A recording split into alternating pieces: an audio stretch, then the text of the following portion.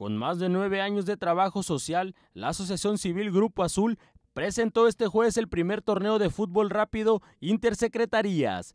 Óscar González Martínez, presidente de Grupo Azul AC, reconoció que como asociación buscan impactar dentro del sector productivo para generar autoempleos a través de los cursos y talleres que les ofrece el Instituto de Capacitación y Productividad para el Trabajo.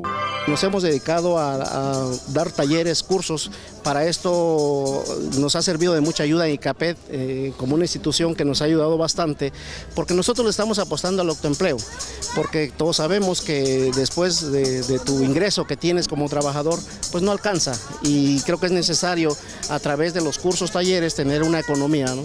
Está pensada para la sociedad en general.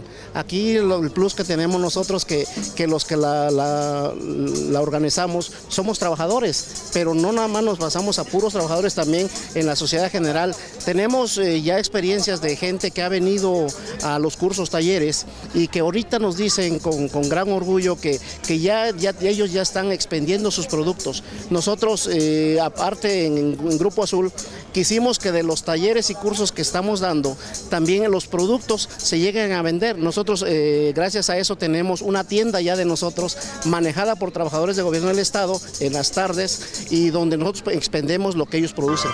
Grupo Azul AC fue creada por trabajadores sindicalizados del gobierno del Estado, sin embargo señalaron buscan incorporar a la sociedad en general, con actividades que tienen como objetivo crear empleos que aporten a su economía familiar. Los talleres van desde repostería, bordado típico, joyería, entre otros. González Martínez reconoció que gracias a la labor social de los adheridos han logrado capacitar a familias de la costa, Mixteca y valles centrales, buscando fomentar el autoempleo como una alternativa laboral. Con imágenes de Alfonso Morales, para MBM Televisión, Rafael Ventura.